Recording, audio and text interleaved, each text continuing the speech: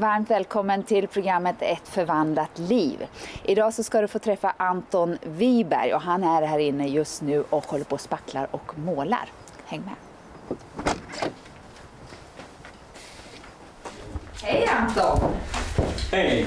Nu ska jag störa dig mitt i spacklingen här. Ja, det gör det. Ja, vi ska gå till köket. Ska bjuda dig på fika så ska du få berätta om vad Jesus har gjort i ditt liv. Trevligt. Like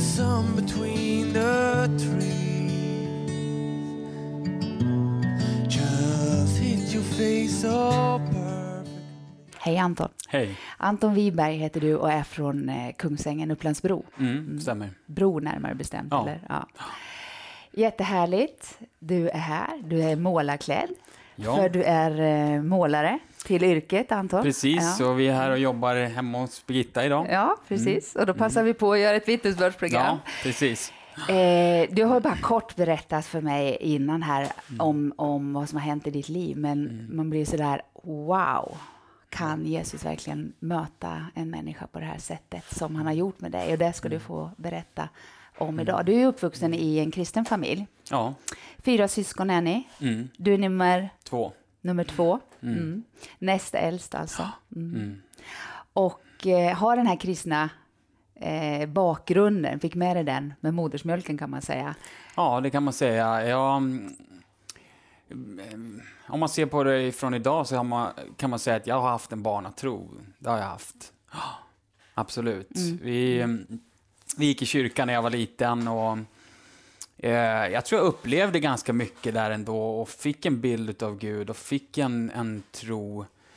Även om den var relaterad väldigt mycket till mina föräldrar och eh, den uppväxt man hade. Men, men eh, jag tror ändå när jag ser tillbaka idag att jag hade en tro. Det, det är jag övertygad om att det fanns en, en, en relation ändå. Att man hade en bild av Gud och Jesus. Och, mm. Men sen hände ju saker på vägen och redan ganska tidigt egentligen, det var en 11-12 år i, i, i början där, i tonåren också, så brakade lös kan man väl nästan påstå och det började hända saker. Berätta vad som, som Jo, hände. men det var väl kanske redan som 11-12-åring, kanske ännu tidigare, att man hade... Jag hade väl en känsla av att jag var otillfredsställd på något sätt. Att eh, jag drogs till eh, där det hände saker, där det var lite action, där vare sig bra eller dåligt så eh, var jag där och ville vara i, i centrum kan man säga. Eh, och det ledde mig till eh, fel umgänge, men jag skulle vilja säga att det kanske inte bara... Jag var nog fel umgänge också ibland. Det var inte bara andra som påverkade mig, utan jag tror att jag påverkade andra också. Ehm, och de i sin tur påverkade mig, så att... Eh, Vad var det ni gjorde då? Vad var det som hände? alltså det var väl redan när man var 11-12, jag tror jag var full första gången när jag var 11. Det var spännande då bara liksom att hänga med de lite äldre som fanns i samhället då. Och man, man eh, tyckte väl att de var coola och ville pröva samma saker som de gjorde och sen... Ja, det var lite eh, pojkstreck, lite bus och där i början kan man säga, men eh, sen fanns det väl, jag tror inte jag hade några gränser direkt för vad som var rätt och vad som var fel, utan eh, när eh, några äldre kompisar då började röka hasch, då var jag först och prova. Eh, och då var jag 13. Vad, blev det ännu tyngre grejer sen eller vad, Ja, vad, ja. vad hände? Jag var fem, fjor- 14-15 kanske, amfetamin. Och sen eh, var det alla typer av droger. Ecstasy, eh, kokain. Ja, Men hur, hur reagerar kroppen på det? Du var ju väldigt ung när du började. Mm. Vad hände i kroppen? eh, jag tror att man övertalar sig själv att det inte påverkar en, men jag tror att det gör det. Jag tror att det påverkar en väldigt mycket, men eh, man... Eh,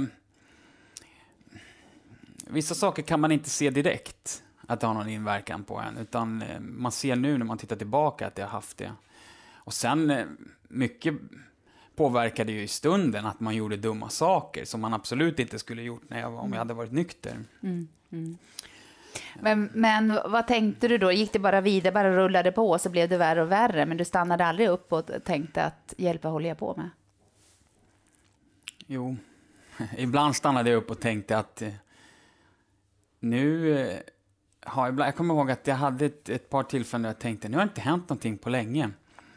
Man hade en funderare och sådär. Och alltid när jag stannade upp, minst två eller tre gånger när jag stannade upp och tänkte så, vad konstigt, nu är det ingenting som har hänt, då hände någonting ännu värre.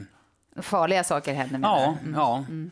Nej, men det fortsatte med droger och kriminalitet. Jag tror jag gjorde mitt första inbrott när jag var 13. Eh, och den kombinationen är väl inte den bästa. Droger och kriminalitet. Mm. Då hamnar man ganska snett snabbt. Vad sa, eh, hur funkar det för din familj under den här tiden? Känner de till vad du höll på med? Och... Ja, jag, jag, levde på ett sätt kanske ett, ett, ett dubbelliv. Jag höll ganska låg profil i skolan, men eh, jag tror att de flesta visste vem jag var och vad jag pysslade med. Och likaså mina föräldrar, men det var nog kanske inte i, förrän i, ja, i slutet kan man säga då, innan det vände, som, som eh, det var uppenbart för alla vad jag, jag, då gick det inte att dölja längre kan man mm. säga. Då, Hur gammal var du då? Ja, då var jag precis 20 tror jag. Mm. Mm. Hände det några särskilda saker då som, som, mm. som gjorde att det blev uppenbart? Ja, eh, framförallt var det att jag kanske inte kunde kontrollera drogerna på samma sätt som jag hade gjort tidigare och inte kriminaliteten heller. Och eh, det var ett tillfälle då jag nästan eh, dog i en överdos och ett annat tillfälle då jag höll på att förblöda i ett knivslagsmål. Oj. Mm. Hur gick det? Ja, hur det gick? Du överlevde det förstår jag, men vad hände? Berätta. Ja, jag mm, tog för mycket droger en gång och eh, jag upptäckte att livet höll på att gå ur mig. Men i den stunden så, när mm, jag kände hur livet var på väg och lämnade mig, så kom det tillbaka till mig. Lika starkt som jag kände att det var på väg ifrån mig, så kände jag hur det kom tillbaka till mig. Och jag tror att det det var Gud som var inblandad då, även om jag inte såg det då. Och eh, när jag var i ett knivslagsmål då, då tappade jag så mycket blod att läkaren sa det 15 minuter till så hade, du, hade han varit död. Oj, mm. oj. Vad sa dina föräldrar då? Ja, då var det ganska kritiskt hemma tror jag.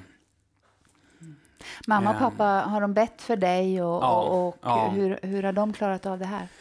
Det vet jag inte hur de har klarat av. De har nog inte klarat av det, men, men eh, eh, jo, men de, eh, de har bett.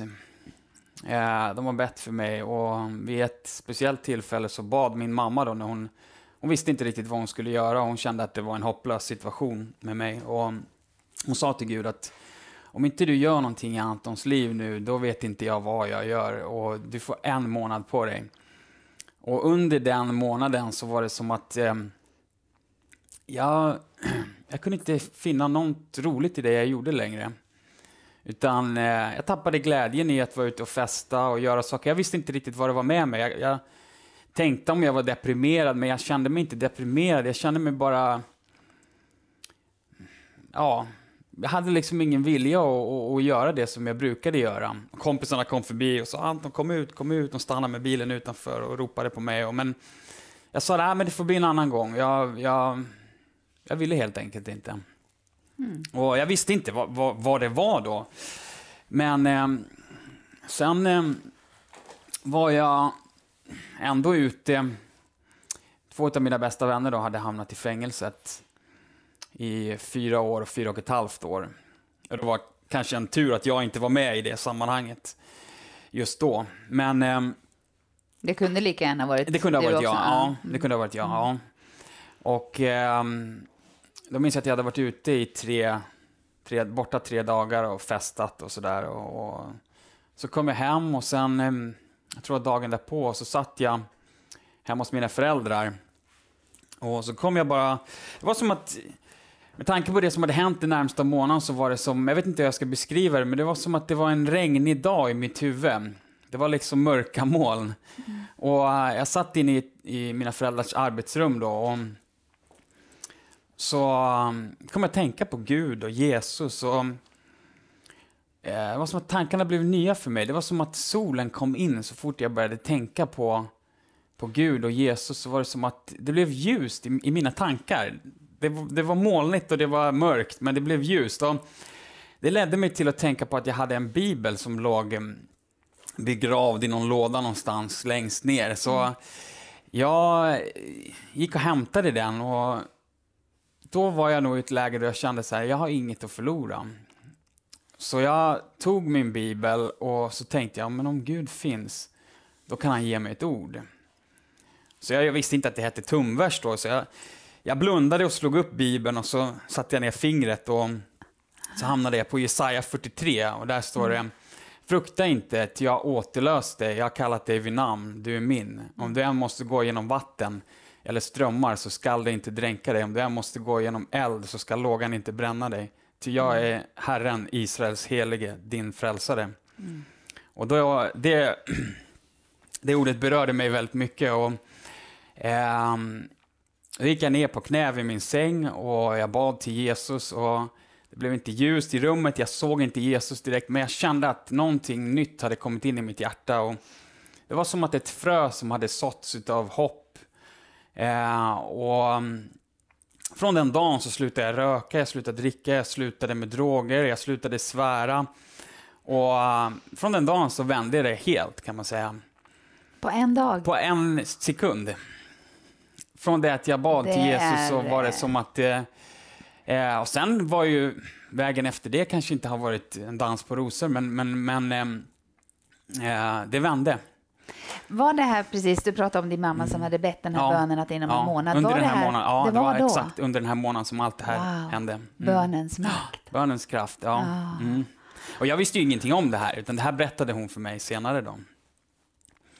Men alltså, mm. ofta så kan man ju behöva förbön och många, mm. många själavårdssamtal och, och så vidare, just befri, för att bli befriad. Absolut, från, för du hade ju absolut. varit i kraft, eh, kraftiga ja. droger, ja. i ett stort missbruk. Ja. Och i många år också. så. Mm. Men, men Jesus befriade dig, menar du, bara så här? Rakt upp och ner? Ja, det kanske låter orättvist i, ibland om man tittar på vad andra måste gå igenom, men för mig var det så. Mm. För mig var det så. Det var som att jag kände att jag hade just då kände jag att jag hade ingenting att förlora. Jag tog emot allt det som han ville ge mig och jag kände att det, det fanns inget, jag kan inte hålla kvar vid någonting utan jag måste lämna allting. Så jag, jag, kunde inte umgås med de vänner, idag har jag kontakt med vissa men, men jag kunde inte umgås med dem längre för allt som vi gjorde med tidigare var antingen kriminellt eller hade med droger att göra. Det fanns liksom inte någon möjlighet för mig att fortsätta umgås med dem då. Men eh, jag fick chans, jag har fått chansen att vittna för, för alla mina vänner. Och, jag tänker just det här med mm. kompis och grupptryck och så vidare. Det är ju mm. det som många berättar om, att det, det svåra är att ta sig ut ifrån en sån här mm. eh, grupp som, som ja. verkligen håller. Och, och, ibland så du sa att de kom och försökte hämta ut dig och kan mm. inte följa med ut. Men, men, mm. men det var inte heller svårt då? Klart det har kommit dagar då man, menar, kanske efter omvändelsen i ett tidigt skede att det har kommit eh, tankar som att eh, man eh, vill vända tillbaka. Men jag kan hela mm. tiden komma tillbaka till det Gud har gjort i mitt hjärta och känna att det här, det här är något annat. Mm. Och uh, utifrån det lilla fröet så har det växt och det har blivit ett helt liv. Mm. Åkte du aldrig dit på det sättet? Så du, du hamnade aldrig i fängelse? Du åkte aldrig dit på någonting? Jag blev dömd till fängelse, men jag fick ett annat straff som påföljd kan man säga. Eh, det var faktiskt efter att jag hade blivit eh, tagit emot Jesus då, så, så um, ringde jag en barndomsvän och så sa jag följ med mig till kyrkan och det gjorde han. Och så tog han också emot Jesus. Och sen flyttade vi tillsammans till eh, Örebro och bodde där på um, Frälsningsarméns studentkorridor mm. eh, i åtta månader. Och sen ringde polisen när jag bodde där, det var ganska oväntat jag var nere och bad i Frälsningsarméns lokaler och då ringde polisen till mig. Och um, så sa de, ehm, ja, hur är läget? Ja, jo, det är bra. Jag, jag berättade att jag hade blivit frälst och då sa kvinnliga polisen då, är det sant? Och jag berättade hur det gick till och sådär. Oj, det är sånt här som gör jobbet värt. Och, ja, får jag berätta det här för de andra kollegorna på stationen? Ja, absolut. Så ja, vi sa det att vi, vi kanske ses i, i, i kyrkan någon gång. Då. Men det var inte därför hon ringde, utan hon, hon berättade att jag var misstänkt i ett brott som hade begåtts. Då, och mm. eh, jag var ju skyldig. Och eh, det skulle bli rättegång. och eh, hon berättade att, ja, informerade mig om det här då liksom. Okej, så jag. Och sen fick jag reda på vad det gällde och eh, jag tänkte, ja, nej men, eh, jag får, jag får säga som det är helt enkelt. Och då minns jag att min pappa sa till mig, du vet om att det, att det kan vara ett längre fängelsestraff som väntar dig? Ja, jag har inte riktigt tänkt på, så jag. Och jag var så glad att jag var frälst liksom. Och, eh, sen eh, eh, så blev det rättegång då, datumet sattes och eh, jag minns att eh, jag visste om att jag skulle bli dömd till att betala böter och den första böten var på, på 30 000 och har man inte mer än några kronor på fickan så är 30 000 ganska mycket. Men jag kände att jag ville inte att någon annan skulle gå in och betala för mig. Jag, ville inte, jag, ville, jag, jag ville göra det här själv. Så det här var en börda för mig. Jag tänkte, hur ska jag betala det här? Liksom? Och jag vill betala tillbaka det här. Och, eh, samma dag som vi ska åka till rättegången då, så känner jag en röst inom mig som säger, gå ut och titta i brevlådan. Och så tänker jag, gå ut och titta i brevlådan, varför ska jag göra det? Vi ska ju åka nu liksom. Och, så jag bestämmer mig ändå för att gå ut och titta i brevlådan, så öppnar jag brevlådan och eh, där är det en eh, check eller en försäkring som har kommit på exakt 30 000. Det är sant. Ja, precis innan vi ska åka till rättegången. Så då var jag så, då var jag så överlycklig att jag kände att Gud var med mig i det här. Och, och när vi kom till rättegången så behövdes inga vittnen, för jag berättade vad Jesus hade gjort i mitt liv och erkände allting och bad om förlåtelse. Och, eh, åklagaren sa då i pausen, det är han som ska sätta dit mig, han sa ja vi får ju verkligen hoppas på en, en icke fällande dom då vad det gäller fängelse. och domaren sa efter att jag hade berättat vad som hade hänt i mitt liv så sa han ja, ja det har ju uppenbarligen hänt någonting påtagligt i Wibergs liv. Så eh, enligt paragraf, eh, eh, jag vet inte vad, så slapp jag fängelsestraff. Och eh, jag fick lite andra påföljd, samhällstjänst och, och böter och sådär, men, men eh, det löste sig. Det var Gud verkligen. Det var Gud verkligen, ja. Mm. Wow. Vad- vad- här var du kring eh, 20-årsåldern, Ja, var det så? ja, ja, Mm, ja. mm. Vad, vad, vad hände där sen då, precis den här första tiden i, i vandringen tillsammans med Jesus? Ja, Minns du? jag minns att, att eh, jag bad mycket, jag läste mycket Bibeln och, och alltså, vissa dagar var inte lätt alltid, men, men eh, när man ser tillbaka nu så ser jag ändå hur Gud har lett mig på olika sätt, i olika sammanhang och, och, och även när man tror att Gud inte är med så har jag sett att han har varit med hela tiden och lett på, på, på olika sätt och, och ja, Hur ser livet ut idag? Idag har jag en härlig familj, en fru eh, och tre barn, snart fyra, en hund. Eh, jag jobbar som målare, jag har ett företag, Wibergs måleri. Mm. Och, och, och om du berättar om, om relationen med Jesus, alltså, har den mognat, har den fördjupats? Är det som, en, Mm. som i ett äktenskap, en relation? Eller hur, hur, Det blir bättre och bättre, Det blir precis bättre och som ett bättre. äktenskap. Ja.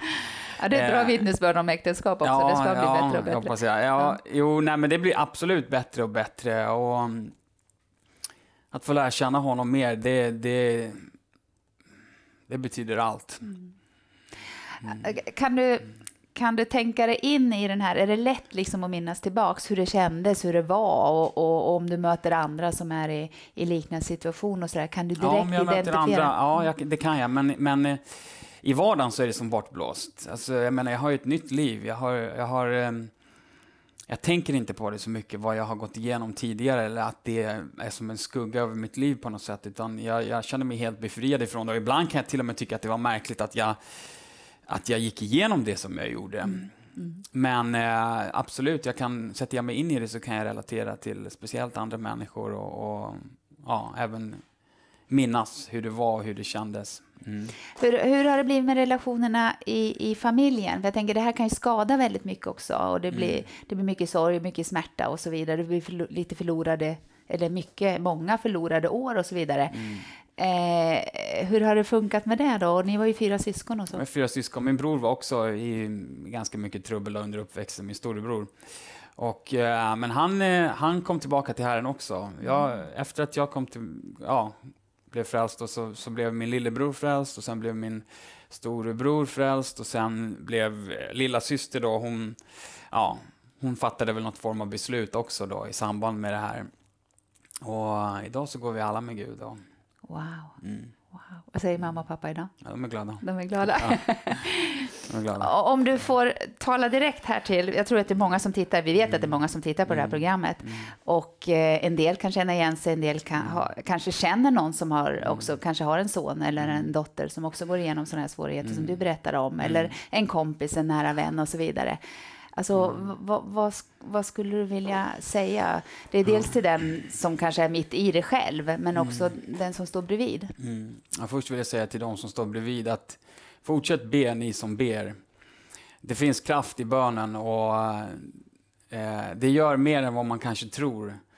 Och eh, Sen vill jag säga till eh, ni som kanske är en förlorad son eller dotter, precis som jag. Jag läste den om den förlorade sonen och jag såg någonting som jag aldrig sett förut och jag kände att när jag kom tillbaka så var det som att komma tillbaka till fadern. Eh, och eh, det som händer när den förlorade sonen kommer tillbaka är att han blir fullt accepterad, fullt älskad. Men sen såg jag någonting bara häromdagen som, som jag inte har sett förut och det är att han får nya kläder och han får sin faders ring satt på sitt finger. Och ringen betyder att han får göra affärer i sin faders namn. Och jag vill säga till er som kanske har bränt allting och som kanske inser att ni är den förlorade sonen eller dottern. Och jag vill säga till er att eh, Gud har fullt förtroende för er kvar och han älskar er och han accepterar er, men han vill ge er nya kläder. Han vill att ni kommer tillbaka till honom och han vill ge er nya kläder och sätta sin ring på ditt finger och säga att han har fullt förtroende för dig igen. Det är en hälsning som jag vill ge till de där ute som lyssnar. Jag blir nästan stum här. Alltså det, är ju, det är inte så lätt att vara programledare ibland när man hör de här starka vittnesbörden för man blir så tagen och att Jesus verkligen aldrig ger upp av en människa. Nej. Och han vet också precis hur, eh, hur han ska nå. Han vet nycklarna till, till, Absolut. till var och en och sen har han så olika väg också. Och, och målet är detsamma, att vi ska få, få möta honom och få en relation med, med honom. Men sen vet han precis hur han ska lirka ibland Ja. och hur han ska ta tag i någon Absolut, ibland. Och, absolut. och han vet vad var och en behöver. Och det vet ju du också som pappa. Att man, barnen är olika.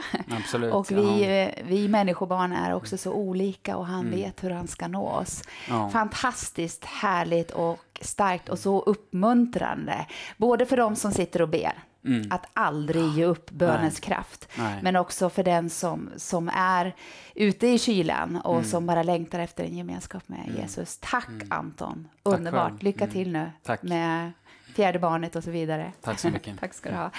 Tack ska ni ha för att ni har va- varit med oss idag. Det här är så gripande, det är så starkt och eh, det är omvälvan, omvälvande, jag kan knappt prata efter det här, eh, att få möta Jesus. Så tveka inte, ta emot honom i ditt hjärta sida så eh, kommer du att få möta livet och sen sker den här underbara vandringen som inte alltid är lätt men som är så meningsfull och eh, härlig att få lära känna Jesus. Tack ska du ha för idag och så ses vi igen nästa vecka. The day I meet you